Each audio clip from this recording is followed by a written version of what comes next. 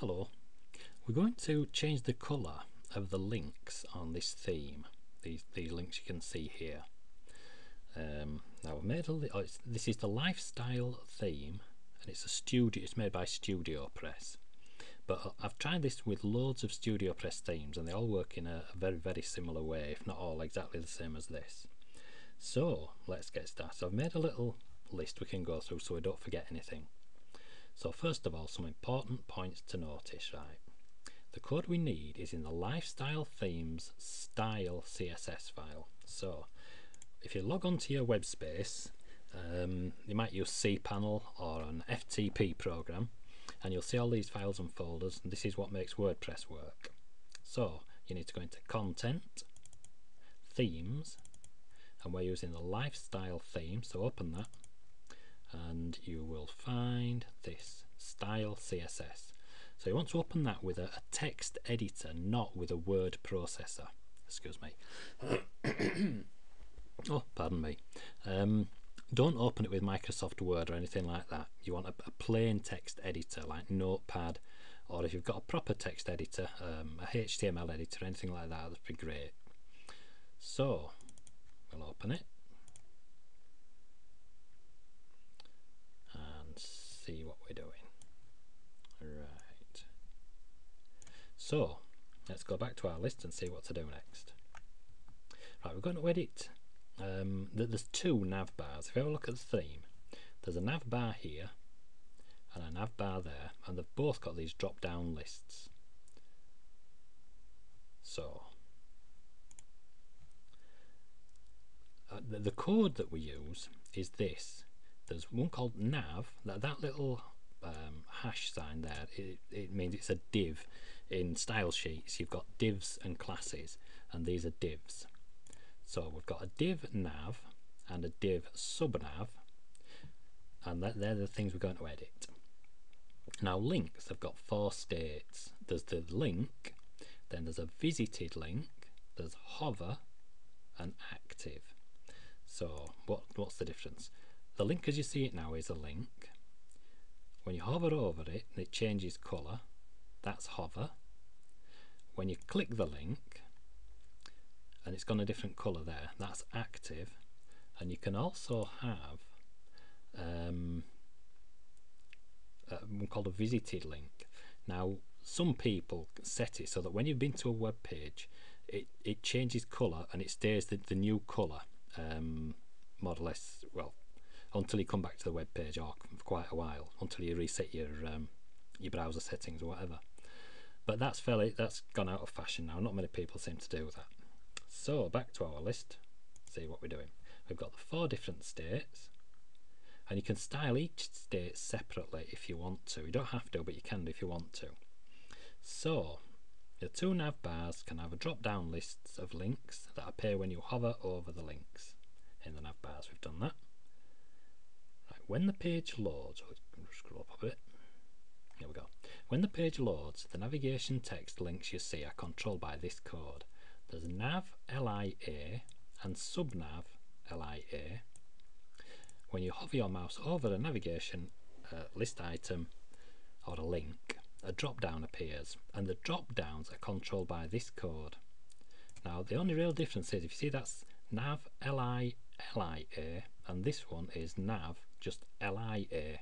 So that's got an extra LI. So the drop down lists have the extra list item in them. Right, let's see where we go next. Oh, when you look at this, these colours here, this blue colour, is set by the, um, the, the anchor text for all links on the page. You can set that separately if you want to. But on this particular theme, um, the thing that's controlling this blue colour is just the, the anchor text that's it sets the, all of the link anchors or links are called anchors. And all of the um, link text on the page is set uh, um, in one part of the style sheet. So what next? Right now editing the code. So we've opened the style sheet file So all we need to do now is search for nav lia. So let's search for that in our style sheet. This is the style sheet we opened. And all we need to do is find the search box. Um, search for that. Now if you see this here this nav lia there's no color in that one. It's not been set. The color hasn't been set. But we'll set it just so that you can see how it works. Now what we're going to do you can use things called hexadecimal codes to set your colors with but depending on if you know what the codes are it's easy to find the codes.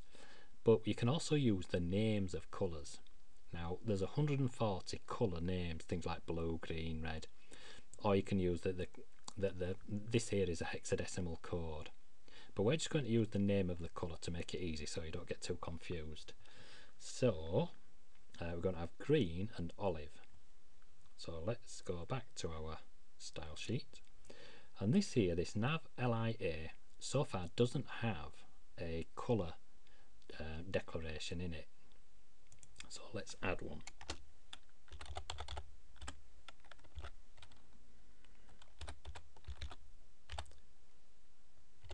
There we go. We'll save the file and let's see if it's changed so what we're using now is this sort of blue colour. If we refresh the page it's gone that kind of uh, green colour. So we've got two we've got the nav and sub nav now we've not changed the sub nav but what we'll do I'll just stick to one um, one of the nav bars. The, both nav bars work in the same way. So to save time and save messing I'll just stick to the top nav bar. Right so what else are we going to do? Um, oh we'll change the hover and active as well.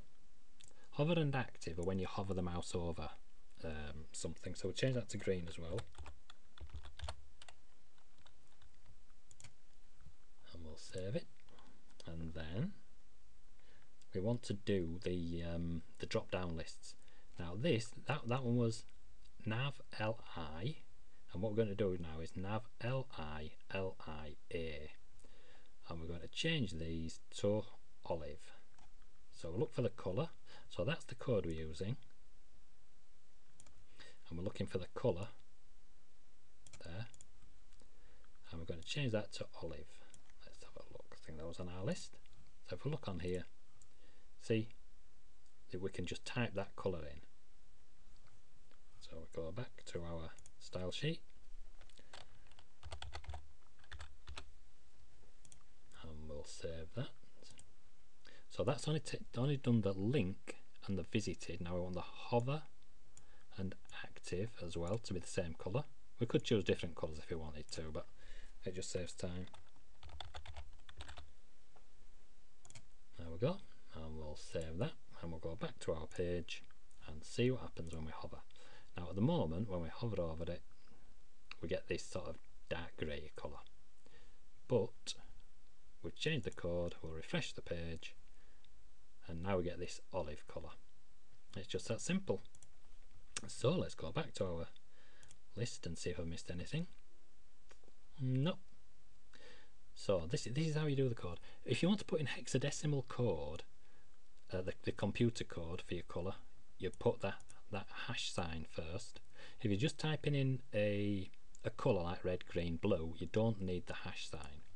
So when you type that into your style sheet here, um, when we typed in the colour, we didn't type the hash sign there. If it had been a hexadecimal code, we would have typed in that hash sign. Let's see if I can find one for you while we. Ah, there we go. You see that one. That one's a colour with hexadecimal code, and it's got the hash sign. One thing you need to be aware of is when you scroll right to the bottom of the page on this particular theme, there are about oh, six or seven different uh, colour schemes. That's lifestyle yellow, lifestyle teal, so if you're changing the colour scheme, make sure you're changing the right um, set of code up at the top of the page, not right down at the bottom of the page. Well, I think that's all I needed to tell you. So I hope you found it useful and I hope you could follow along. Thanks for watching and bye for now.